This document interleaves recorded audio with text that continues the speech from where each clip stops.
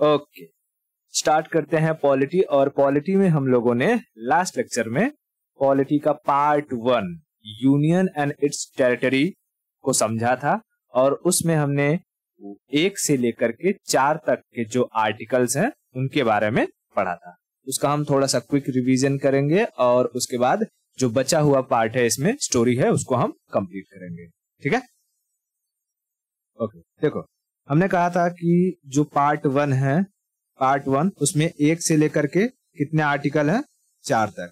और article one में हमने देखा था, कहा जाता है कि जो भारत है India is a union of state तो हमें एक वर्डिंग याद रखनी है इसमें क्या? यूनियन ठीक है? यूनियन यूनियन मतलब संघ। दूसरा में क्या कहा था कि पार्लियामेंट के पास पावर है, वो किसी भी फॉरेन लैंड को इंडिया में मिला सकती है। इसका एग्ज़ाम्पल था सिक्किम। ठीक है? फॉरेन लैंड तीसरे आर्टिकल में कहा गया कि पार्लियामेंट के पास पावर है कि वो भारत के अंदर किसी भी राज्य में तोड़ फोड़ कर सकती है, उसका नाम चेंज कर सकती है। नेम चेंज और टेरिटोरी टेरिटोरी को लिमिट कर सकती है। लिमिट ठीक है? उसके बाद आर्टिकल फोर में कहा था कि जब भी पार्लियामेंट आर्टिकल टू और आर्टिकल थ्री का इस्तेमाल करेगी तो उसे सिर्फ़ सिंपल मेजोरिटी की ज़रूरत पड़ेगी पार्लियामेंट में बिल को पास कराने के लिए। प्रेसिडेंट इस बिल को डिनाय नहीं कर सकते हैं रिजेक्ट नहीं कर सकते हैं। ठीक है? ये इसमें कहा गया था। तो जितनी भी बेसिक बातें थी पार्ट वन की वो हमने डिस्कस कर ली थी। और लास्ट टाइम मैंने कहा था कि जो हमारा देश आज के वक्त में जैसा दिखता है, वैसा हमारे आज़ादी के बाद नहीं था। जैसे आज के वक्त हम जो स्टेट है हमारे, वो लैंग्वेज के बेसिस पर डिवाइड है। महाराष्ट्र में, जैसे महाराष्ट्र की बात करें तो मराठी बोलने वालों की संख्या ज़्यादा है महाराष्ट्र। गुजरात, गुजराती बोलने वालों की संख्या गुजरात। यूपी में देखे तो जो है, थोड़ा हिंदी बोलने वाले की, भोजपुरी बोलने वाले की संख्या है, बिहार में बिहारी बोलने वाले की जनसंख्या है, ठीक है? साउथ में देखे तो इंग्लिश, कन्नड़, तमिल, तेलुगु, मलयालम बोलने वालों की संख्या है। तो भाषा के आधार पर आज हमारे देश का क्या है? विभाजन हुआ हुआ है। लेकिन लेकिन, जब हमारा देश आज़ाद हुआ था are you getting my point hmm. तो हमारा देश जब आज़ाद हुआ था तो वो कुछ इस तरीके का दिखता था।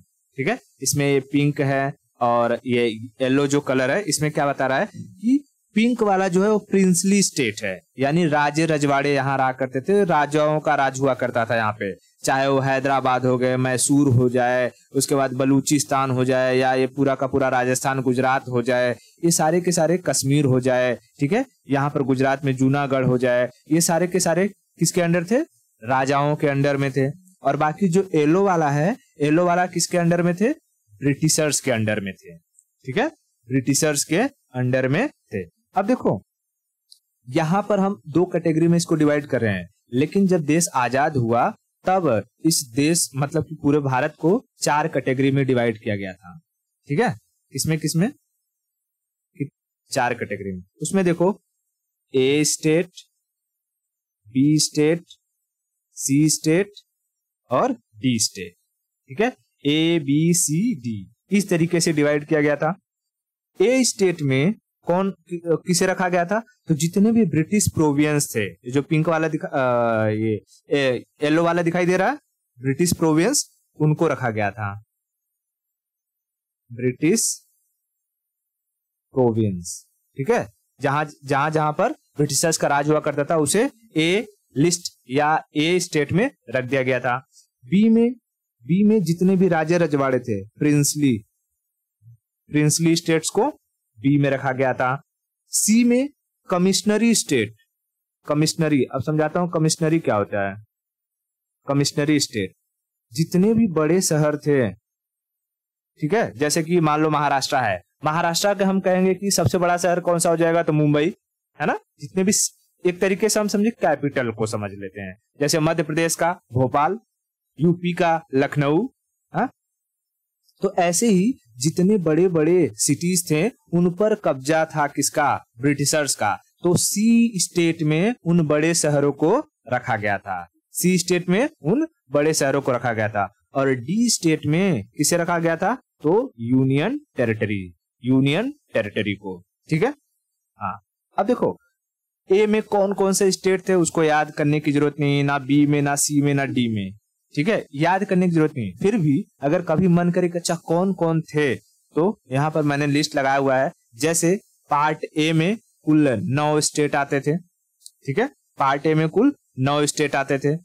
पार्ट बी में अगर देखा जाए पार्ट बी में तो यहाँ पर देख लो इसमें लगभग दस स्टेट के आसपास थे। एक, दो, तीन, चार, पाँच, छह, सात, आठ आठ ही है। ठीक है? इसमें आठ ही है। आठ स्टेट है। और पार्ट सी में अगर देखा जाए तो शायद इसमें दस थे। एक, दो, तीन, चार, पाँच, छह, सात, आठ, नौ, दस। इसमें दस आते थे। और पार्ट डी में कहें तो हमारा क्या आता था? अंडमान निकोबार आइलैंड, यानी जो हमारा यूनियन टेरिटरी है, उसको रखा गया था। समझ? तो हम खाली ये नंबर अगर याद रखना रहेगा तो रख लेना। ए, बी, सी और डी। ए में कितने? नौ। इसमें आठ। इसमें दस। और इसमें एक। ठीक है? इतने स्टेट हुआ करते थे हमारे आज़ादी के बाद जब हमें आज़ादी मिली। लेकिन आज़ादी के अगर हम थोड़ा पहले जाए तो हमारा भारत अफ़गानिस्तान से लेकर के म्यांमार तक फैला हुआ था। ठीक है? कहाँ से कहाँ तक? अफ़गानिस्तान से म्यांमार तक फैला हुआ था। इस अफ़गानिस्तान को हम हाँ, जो है 1893 में अलग कर दिया गया। ब्रिटिशर्स ने कब अलग कर दिया? 80 सॉरी 1893 1893 अठारह में भारत से अफ़गानिस्तान को अलग कर दिया गया था। क्यों? क्योंकि अफ़गानिस्तान में इतने पहाड़ भरे हुए हैं ना उपजाऊ ज़मीन है और ना ही वहाँ पर वहाँ पर आ, कुछ आराम से खेती किया जा सकता है ठीक है? तो पहाड़ी इलाका होने की वजह से खेती लायक लैंड न होने की वजह से अंग्रेज़ों ने इसे भारत से अलग कर दिया था क्योंकि उनके लिए उतना वो बेनिफिशियल था नहीं। अफ़गानिस्तान में जो भी गया है, वो हार के आया है। इसलिए अफ़गानिस्तान को grave yard of the empire कहा जाता है। Grave yard of the empire ठीक है? अफ़गानिस्तान को क्या कहा जाता है? Grave yard of the empire empire empire मतलब साम्राज्य। साम्राज्यों का कब्रिस्तान किसे कहते हैं? अफ़गानिस्तान को। अफ़गानिस्तान को भारत से कब अलग किया गया? 1893 में। और इसके बीच में जो रेखा बनाई गई, उसे कहा गया डुरंड लाइन। Durand line. तो पूछेगा कि आज के समय डुरंड लाइन किन दो देशों के बीच में है? अफ़गानिस्तान और पाकिस्तान। अफ़गानिस्तान और पाकिस्तान। ठीक है? उसके बाद भारत से इस म्यांमार को भी अलग कर दिया गया कब? 1935 इंडिया एक्ट 1935 1935 1935 में म्यांमार को किससे अलग कर दिया गया? भारत से। म्यांमार को भारत से अलग कर दिया गया। उसके बाद 1947 में 1947 में भारत से पाकिस्तान को अलग कर दिया गया। 1947 में 1947 में पाकिस्तान दो जगह था, एक ईस्ट पाकिस्तान और एक वेस्ट पाकिस्तान। ईस्ट पाकिस्तान और वेस्ट पाकिस्तान। जब इसे अलग किया गया था 1947 में तो इसको भी और इसको भी रेड क्लिफ लाइन कहा जाता था। रेड क्लिफ लाइन, ठीक है? इंडिया और पाकिस्तान के बीच का जो बॉर्डर है, उसे क्या कहा जाता था? अभी भी देखो, अभी भी जो इंडिया, पाकिस्तान और इंडिया का बॉर्डर है रेड क्लिफ लाइन। लेकिन 1971 में 1971 में जब बांग्लादेश मतलब कि ईस्ट पाकिस्तान को बांग्लादेश बनाया गया भारत के ज़रिए, तब इस लाइन को कहा गया zero line. Zero line. Zero line. Zero line. इतना क्लियर हुआ? बताओ। ईस्ट पाकिस्तान को बांग्लादेश कब बनाया गया? 1971 में। देखो 1971 में ये आज़ाद हो चुका था। पाकिस, वेस्ट पाकिस्तान से लेकिन वेस्ट पाकिस्तान ने इसे 1972 में जाकर के परमिशन दी कि ठीक है आप जो है बांग्लादेश के फॉर्म में रह सकते हो ठीक है? ओके म्यांमार को भारत से कब अलग किया गया? 1935 में 1935 में। डूरंड लाइन कब खींची गई? Durand line I am talking about Durand line. 1893 Durand line किन दो देशों के बीच में है? अफ़गानिस्तान और पाकिस्तान। रेड क्लिफ लाइन किन दो देशों के बीच में है? पाकिस्तान और इंडिया। ज़ीरो लाइन किसे कहते हैं? बांग्लादेश के बॉर्डर को। बांग्लादेश के बॉर्डर को। ठीक है? ओके, इतना इतना पिक्चर क्लियर हुआ? बहुत बढ़िया। अब देखो जब ये हमारा देश आज़ाद हुआ, ठीक है? जब ये हमारा देश आज़ाद हुआ, तब आज़ादी के बाद, मैं इस पिक्चर को लेता हूँ। आज़ादी के बाद कुल हमारे पास पाँच सौ बावन फाइव फिफ्टी टू से अधिक प्रिंसली स्टेट बचे हुए थे, ठीक है? मतलब राजे रजवाड़े और ये ब्रिटिशर्स के द्वारा जो छोड़े गए थे स्टेट ये सब के सब बिखरे पड़े हुए थे। मतलब इन, इनको मिला करके पूरा भारत तो बनता था, लेकिन ये सब आपस में इकट्ठा नहीं थे। जैसे वही सिचुएशन हो गई है कैसी? जैसे जर्मनी टूटा हुआ था फ्रांस टूटा हुआ था इटली टूटा हुआ था। है कि नहीं? हमने वर्ल्ड हिस्ट्री में पूरा पढ़ा है कैसे कि इटली को यूनाइट किया गया जर्मनी को यूनाइट किया गया बिस्मार्क का क्या रोल था। है कि नहीं? हाँ। तो वैसे ही भारत कितने टुकड़ों में टूटा हुआ था? पाँच सौ बावन।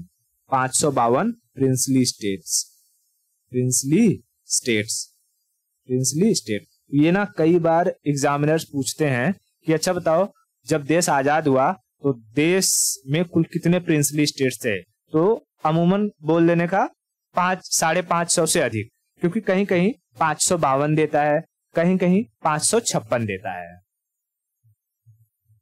ठीक है? तो कितना कह देने का? साढ़े पाँच सौ से अधिक। जब हमारे ही पास पूरा एग्जैक्ट डेटा नहीं है मतलब कि का पाँच सौ बावन है या पाँच सौ छप्पन है तो हम भी वही जवाब देते हैं ना कि साढ़े पाँच सौ से अधिक। है कि नहीं? अब देखो, अब इतने प्रिंसली स्टेट्स हैं, अब इन सबको भारत अगर बनाना है तो हमें इन सबको क्या करना पड़ेगा? यूनाइट करना पड़ेगा, ताकि सब के ऊपर एक ही रूल लगे, एक ही गवर्नमेंट हो, एक ही नियम कानून हो। है ना? ओके।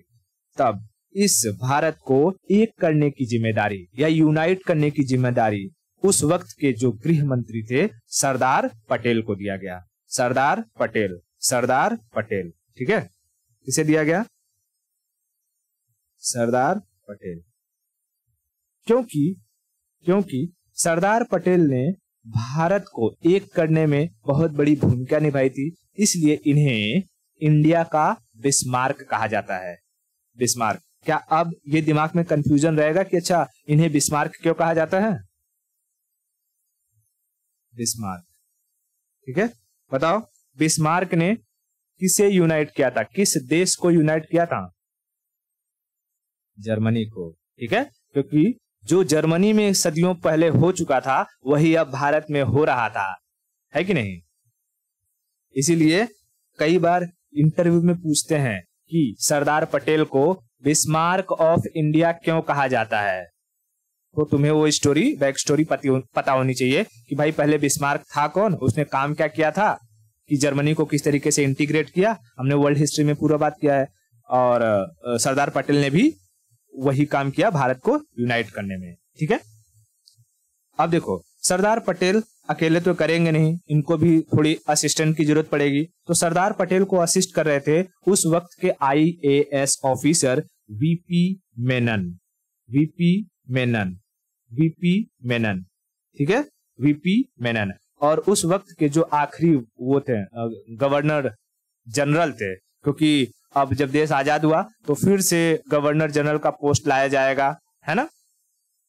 हाँ तो आखिरी वाइसराय कह लो या गवर्नर जनरल कह लो, पहले मतलब आज़ादी के बाद पहले जो गवर्नर जनरल थे, यही बने, इन्हें ही बनाया गया।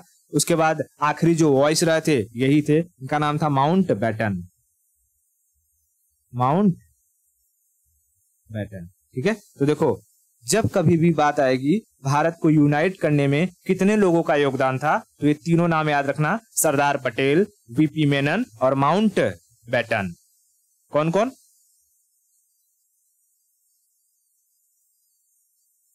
सरदार पटेल पीपी मेनन और Mountbatten. Sardar Patel PP Menon और माउंट बैटन। इतना क्लियर था? ओके अब देखो, सरदार पटेल ने देश के अधिकतर जितने भी राज्य थे, जितने भी प्रिंसली स्टेट थे, उन सबको उन्होंने मिला लिया था। लेकिन इसमें, क्योंकि जब अंग्रेज़ जा रहे थे तो उन्होंने एक कंडीशन रखी थी, जो भी स्टेट है, अगर वो पाकिस्तान के साथ मिलना चाहता है तो पाकिस्तान के साथ मिल सकता है और भारत के साथ मिलना चाहता है तो भारत के साथ मिल सकता है।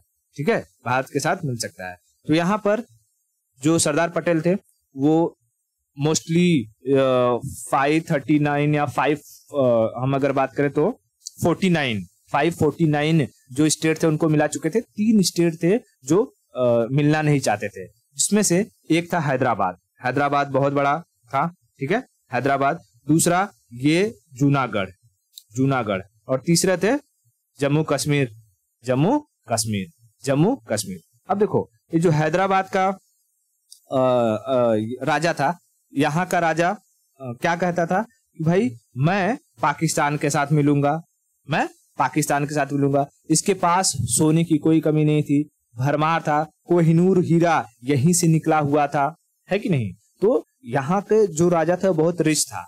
तो भाई, कैसे ये यहाँ पर जाकर के मिल जाएगा पाकिस्तान में? अगर पाकिस्तान में मिलेगा तो इतना बड़ा देश है, देश में क्या अलग से डिवीज़न करना पड़ेगा? यहाँ से अगर पाकिस्तान मतलब किसी को आना है तो ये कैसे, समुद्र के ज़रिए आएगा, या यहाँ से जाएगा? देश तो पूरी तरीके से बिखर जाएगा, है ना?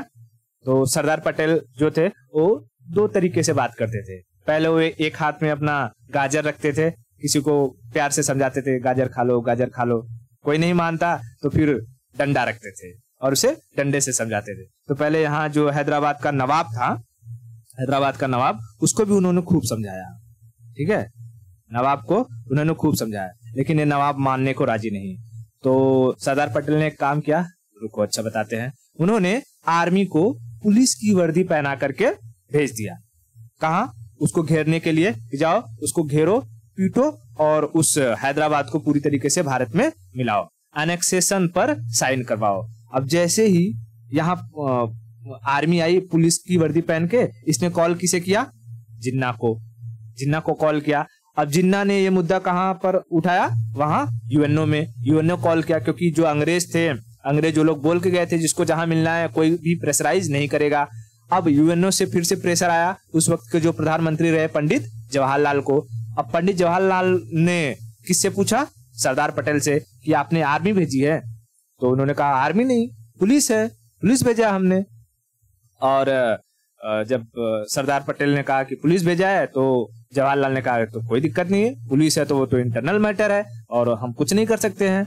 इस हैदराबाद को भारत से मिलाने के लिए सरदार पटेल ने चलाया था ऑपरेशन पोलो। ऑपरेशन पोलो। तो ये ऑपरेशन याद रखना कि ऑपरेशन पोलो कब चलाया गया था? किस लिए चलाया गया था? तो हैदराबाद को हैदराबाद को भारत से मिलाने के लिए जो ऑपरेशन चलाया गया, उसे, उसी का नाम क्या था? Operation polo. इस ऑपरेशन पोलो में क्या मिलिट्री इन्वॉल्व थी या पुलिस इन्वॉल्व थी? मिलिट्री इन्वॉल्व थी। ठीक है? मिलिट्री इन्वॉल्व थी। इतना क्लियर हो गया? ओके बहुत बढ़िया। अब देखो, अब ये मिल गया कौन? जो, ये हैदराबाद मिल गया। हैदराबाद मिल गया। अब जिन्ना तो तड़पड़ाने लगा। जिन्ना कहेगा, मेरा ये कितना बड़ा स्टेट चला गया। बताओ। फिर जिन्ना ने जो जूनागढ़ था, जूनागढ़, ये गुजरात वाला एरिया जूनागढ़। जूनागढ़ का जो नवाब था, उसको जिन्ना ने चढ़ाया और कहा कि देखो, ये तुम एकदम हमारे पास ही हो। आ जाओ, हमसे मिल जाओ और हम तुम्हें अपने यहाँ का जो है फाइनेंस मिनिस्टर बना देंगे। एकदम पैसा वैसा खूब देंगे, कोई दिक्कत नहीं है। तो यहाँ का जो नवाब था वो था मुसलमान। ठीक है? मुस्लिम था। और यहाँ पे जो जनता थी, पब्लिक पब्लिक, वो हिंदू थी। ठीक है? हिंदू थी। यहाँ का जो नवाब था, उसको ना कुत्ते रखने का बहुत शौक था। उसको अपनी पत्नी से ज़्यादा प्यारे कुत्ते थे। सौ, दो सौ कुत्ते रखता था वो और उन्हीं के बीच में रहता था। समझा? उन्हीं के बीच में रहता था। तो यहाँ पर जब सरदार पटेल गए, वो भी कहने लगा कि नहीं, हम तो जो है किससे मिलेंगे? पाकिस्तान से मिलेंगे। सरदार पटेल ने बोला अच्छा तो पाकिस्तान से मिलेगा। रुक जा। वहाँ की जनता को उन्होंने बुलाया और कहा कि आप किसके साथ रहना चाहते हैं? भारत के साथ रहना चाहते हैं या पाकिस्तान के साथ? तो वहाँ की जनता ने कहा कि हम भारत के साथ रहना चाहते हैं। और फिर सरदार पटेल ने इसको दौड़ा दिया यहाँ से, बोला, अब तेरा काम हो गया, निकल ले। और वो अपने बीवी बच्चों को छोड़कर कुत्ता लेकर के कहा चला गया? पाकिस्तान। ठीक है? तो कहेगा कि जूनागढ़ को जूनागढ़ को भारत में कैसे मिलाया गया? तो जनमत संग्रह। जनमत संग्रह। इसको कहते हैं? रेफरेंडम। क्या कहते हैं? रेफरेंडम। ठीक है? रेफरेंडम। यानी जनता। से आग्रह किया गया, उनसे पूछा गया, उनसे वोटिंग करवाई गई और जनता ने वोटिंग किसके पक्ष में डाला? इंडिया के पक्ष में। और जो जूनागढ़ था वो किसका भाग हो गया? इंडिया का भाग हो गया। ठीक है? तो दो चीज़ें याद रहेगी हैदराबाद को किस ऑपरेशन के तहत मिलाया गया था भारत में?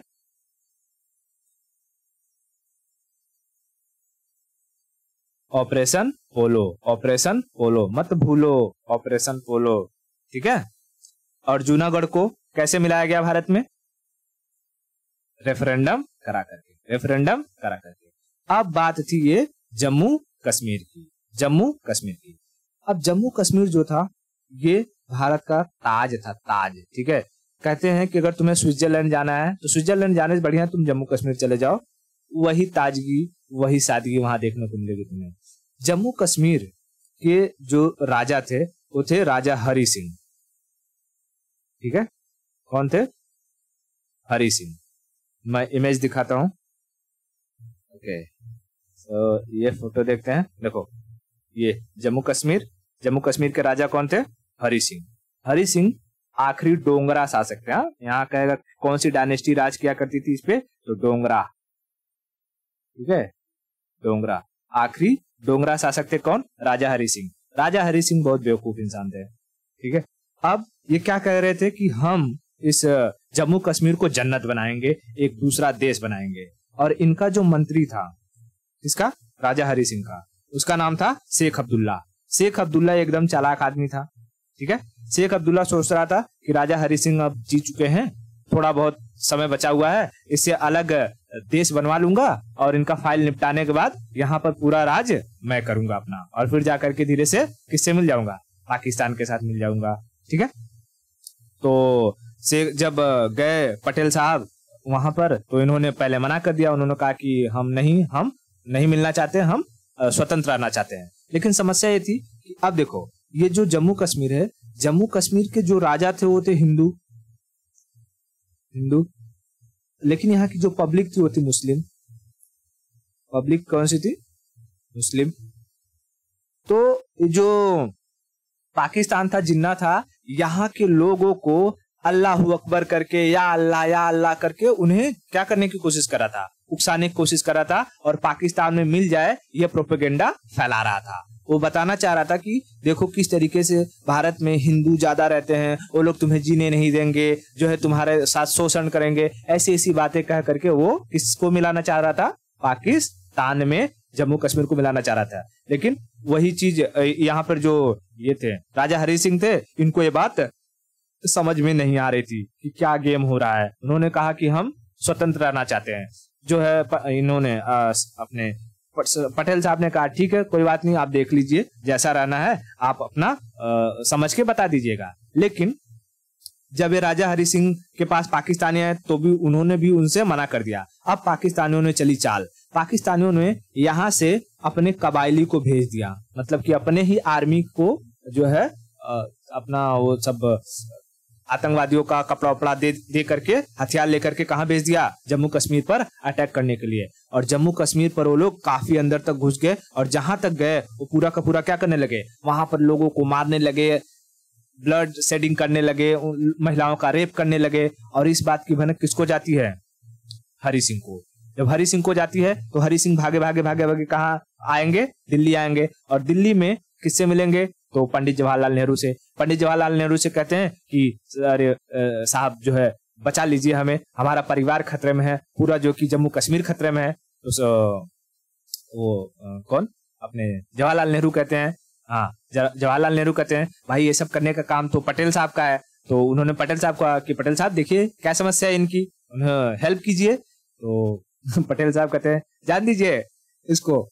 उसको जब बोले कि, आओ, मिल जाओ भारत में तो उसको स्वतंत्र देश चाहिए। खुद का जो कि राज्य बनाना है। तो जब खुद का राज्य बनाने की औकात अगर रखते हो तो जाके अपने राज्य की रक्षा भी करो फिर। तो बोला, कौन? हरि सिंह की। अरे महाराज, ऐसा मत कीजिए। मेरे बीवी बच्चों को मार देंगे वो लोग। आप जो है आर्मी भेजिए। और तो पटेल साहब ने कहा कि, ठीक है, हम आर्मी भेजेंगे, कोई दिक्कत नहीं। लेकिन पहले साइन करो। किस पर? एनेक्सेशन पर, विलय पत्र पर। विलय पत्र पर साइन करो कि जो भारत जम्मू कश्मीर की सरहदें हैं वो भारत की सरहदें हैं। जम्मू कश्मीर भारत का एक अभिन्न अंग रहेगा।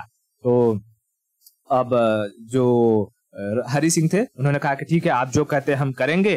आ, लेकिन इसकी ज़िम्मेदारी मैं अपने मंत्री को देता हूँ क्योंकि उसको ज़्यादा आइडिया है। अब यही गलती इसने करी। अब ये शेख अब्दुल्ला ने कहा कि ठीक है हम मिलेंगे भारत से लेकिन हमारी कुछ शर्तें रहेंगी। ठीक है? कुछ शर्तें रहेंगी कि जम्मू कश्मीर में भारत का जो शासन होगा वो लागू नहीं होगा।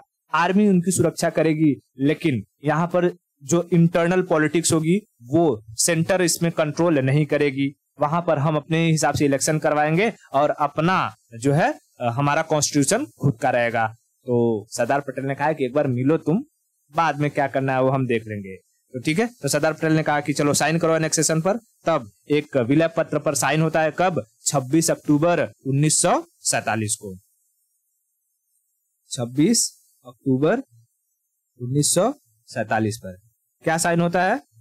विलय पत्र विलय पत्र इसको कहते हैं एनेक्सेशन एनेक्सेशन सॉरी एनेक्सेशन विलय पत्र विलय पत्र विलय पत्र पर साइन कब होता है? 26 अक्टूबर 1947 को। 26 अक्टूबर 1947 को। लेकिन जब तक ये चीज़ होती है, तब तक तब तक ये जो पाकिस्तानी थे, ये काफ़ी अंदर तक घुस चुके थे। ठीक है? काफ़ी अंदर तक घुस चुके थे। और, इतना एरिया ये लोग अंदर आ गए थे। अब और आगे अप्रोच कर रहे थे। तब तक यहाँ पर जाने के लिए मतलब कि कौन जाएगी? हमारी आर्मी जाएगी। तो आर्मी को भेजने के लिए किसी न किसी को कमांड संभालने के लिए देना होगा।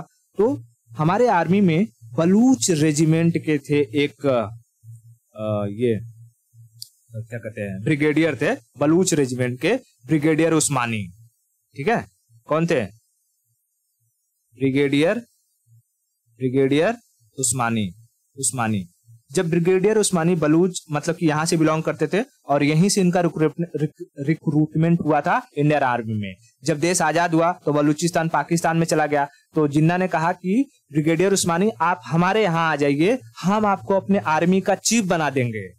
ठीक है? क्या बना देंगे? आर्मी चीफ बना देंगे। तो ब्रिगेडियर उस्मानी ने कहा कि जब मैं भारतीय सेना में डिप्लॉय हो रहा था, शामिल हो रहा था, तब मैंने भारत माता की प्रोटेक्शन करने की कसम खाई थी। भारत के कितने टुकड़े हो जाएँगे मैं उस चीज़ को नहीं ध्यान में रखूँगा। मेरा जो मेन लैंड है मैं उसकी ही सुरक्षा करूँगा। ये बात कह करके उन्हों, वो उन्होंने इंडियन आर्मी को ही ज्वाइन रखा और भारत में ही रहे। और जो सरदार पटेल थे वो किसी भी इंसान को उसके कैरेक्टर देख करके पहचान लेते थे कि ये इंसान काबिल है या नहीं है। उन्होंने इस जो मुजाहिदीन थे या जो भी आतंकवादी थे, इनको टैकल करने के लिए कमान किसके हाथों में दी? ब्रिगेडियर उस्मानी की। मैं उनका फ़ोटो दिखाता हूँ। ब्रिगेडियर उस्मानी की। ठीक है? ब्रिगेडियर उस्मानी ठीक है? ये थे। ब्रिगेडियर उस्मानी इन्होंने गए गए ये लेकर के और अपने सेना को। मैं इनकी स्टोरी बताता हूँ, बहुत मस्त स्टोरी है। ठीक है? अपनी सेना को लेकर के गए ये। और जम्मू कश्मीर में, जम्मू कश्मीर में जहाँ पर ये आतंकवादी जहाँ तक आए हुए थे, उससे आगे एक इंच वो आतंकवादी बढ़ नहीं पाए। ठीक है? वहाँ पर इन्होंने रोक दिया। जितने आतंकवादी थे, उन सबको थूर थार कर रद्द कर दिया। यहाँ पर एक जगह है नौसेरा। नौशेरा नौसेरा। नौसेरा में बहुत सेलिंग हो रही थी। सेलिंग मतलब क्या? जब लड़ाई होगी तो उधर से भी गोला बारूद चलेगा इधर से भी गोला गो, गोला बारूद चलेगा है ना? तो उस सेलिंग में क्या हो रहा था कि मान लो कि ये ब्रिगेडियर उस्मानी है ठीक है? ये ब्रिगेडियर उस्मानी है और यहाँ से गोला बारूद आ रहा है गोला बारूद आ रहा है। तो जैसे ही ब्रिगेडियर उस्मानी यहाँ से उठ करके यहाँ जाते हैं एक गोला आकर के यहीं पर गिर जाता है। तब लोग पूछते हैं वहाँ पर कि सर आपको जो है डर नहीं लगता है? तो उन्होंने कहा कि ब्रिगेडियर की जो इज़्ज़त है, वो तो दुश्मन के बारूद भी करते हैं। तो मुझे डर किस बात का है? लेकिन ऐसे ही लड़ाई में जो लड़ाई हो रही थी, एक गोला सीधा आता है, उनके सीने पर गिर जाता है और ब्रिगेडियर उस्मानी की मौत हो जाती है।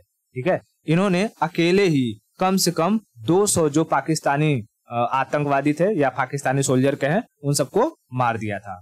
समझ इन्हें नौशेरा का शेर कहा जाता था। उन्होंने कहा था कि जब तक हम लोगों की जो टुकड़ी है, वो इन्हें पीछे नहीं ढकेलती तब तक हम ज़मीन पर सोएँगे। समझ में तो ब्रिगेडियर उस्मानी को क्या कहा जाता था? नौशेरा का शेर। Lion of the Naushera. Lion of the Naushera. इतना इतना स्टोरी समझ में आया? ओके बहुत बढ़िया। देखो, ये सारा का सारा जब चीज़ हुआ जैसे ये जो इनका ये मंत्री था कौन? शेख अब्दुल्ला। शेख अब्दुल्ला ने ही वहाँ के कॉन्स्टिट्यूशन में आर्टिकल 370 जुड़वाया 35 ए जुड़वाया, ठीक है? और वो आर्टिकल 370 2019 में किस तरीके से उसे हटा दिया गया रिमूव रिमूव कर दिया गया। ये स्टोरी तो हम सब जानते हैं। शेख, जब तक ये देश आज़ाद हुआ था 1947 से लेकर के 1947 से लेकर के 370 हटने तक, इन्हीं की फैमिली पूरी वहाँ पर राज कर रही थी। शेख अब्दुल्ला का बेटा था ये फारूक अब्दुल्ला। और फारूक अब्दुल्ला का बेटा था ये उमर अब्दुल्ला। समझा? ये लोग ही पूरी फैमिली वहाँ पर जो है अपना राज कर रही थी। इतना पिक्चर क्लियर हुआ? तो किस तरीके से हमारा जो देश था, वो आज़ादी के बाद कितने टुकड़ों में बटा हुआ था, उसे एक करने की ज़िम्मेदारी किसकी थी? बिस्मार्क, सरदार पटेल को क्यों कहा जाता है?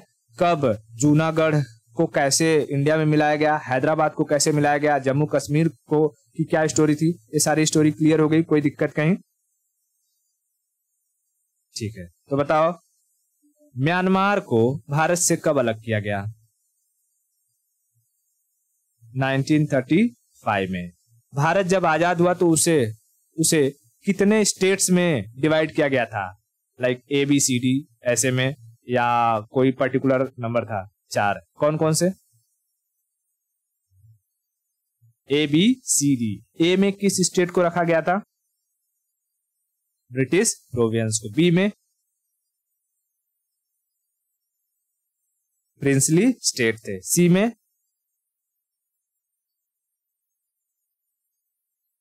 कमिश्नरी स्टेट्स जो लार्ज सिटीज़ थे। ठीक है? लार्ज सिटीज़ थे। कमिश्नरी स्टेट और डी में यूनियन टेरिटरी को, यूनियन टेरिटरी को। देखो, ये जो मैं ए बी सी डी बता रहा हूँ, ठीक है? इन सबको ऐसे ही याद रखना क्योंकि बाद हमारे कॉन्स्टिट्यूशन में एक अलग से सेक्शन ही था बी स्टेट के बारे में। और वो बी स्टेट को अब रिमूव कर दिया गया। तो वो पार्ट भी हमारे कॉन्स्टिट्यूशन से रिमूव हो गया। तो जब मैं आगे बताऊँगा कि देखो ये वाला पार्ट है, इसमें बी स्टेट की चर्चा थी चर्चा थी तो ये मत पूछना कि अच्छा बी स्टेट क्या है?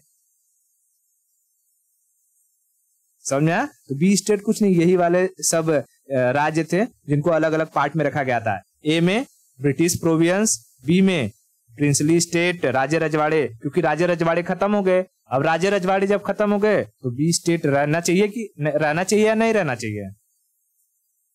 नहीं रहना चाहिए तो बी स्टेट खत्म। और जब बी स्टेट खत्म तो कॉन्स्टिट्यूशन से उनका पार्ट भी खत्म कर दिया जाता है। इतना क्लियर हो गया? ओके तो यहाँ पर हमारा जो ये पार्ट वन था, वो कंप्लीट होता है। ठीक है? ओके तो आज के लिए इतना रखते हैं। बाकी स्टोरी हम नेक्स्ट लेक्चर में देखेंगे।